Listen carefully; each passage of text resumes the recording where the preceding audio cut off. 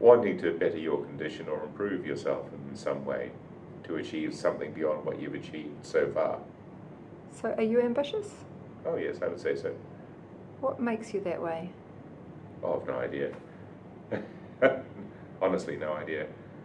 I suppose you'd look towards the, the normal causes, family background, the sort of intellectual furniture that you build up when you're young, perhaps the opportunities that you encounter along the way, but um, I don't think I could ascribe it to any one cause. Just is what it is. It just is what it is, yes. Someone with a degree of foresight, you know, they can uh, picture a future that's different to the one which you might have thought was the one implied by their circumstances at the time. They know that things can be different and they're, they're willing and they're clear sighted about the steps that they may need to take towards that future. I say those are probably the characteristics of an ambitious person. Okay. Is there anything that would enable you to be more ambitious? Is there anything that would enable me to be more ambitious?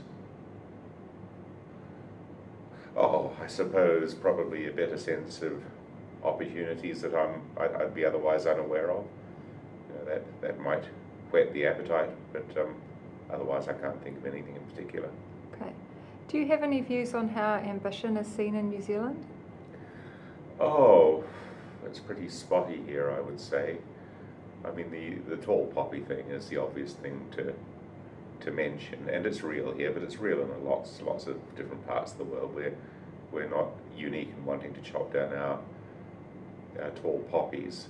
Um, so, yeah, but, but but there is a sort of cultural tendency to you know not to be seen to be wanting to put your head above or to be striving for something or or to to picture a world which is in some way better than the world in which you and your neighbours live. So I think we have those, you know, flaws within some of our cultures. I mean, some of the, the subcultures in New Zealand, I think think think thing, uh, see things very differently. I think of the East Asians, for example. But in in general, you know, traditional Kiwi culture probably doesn't place a high value on ambition unless it's something to do with sport. I mean, then it's okay. In other, in other walks of life, it's a little more suspect, I think.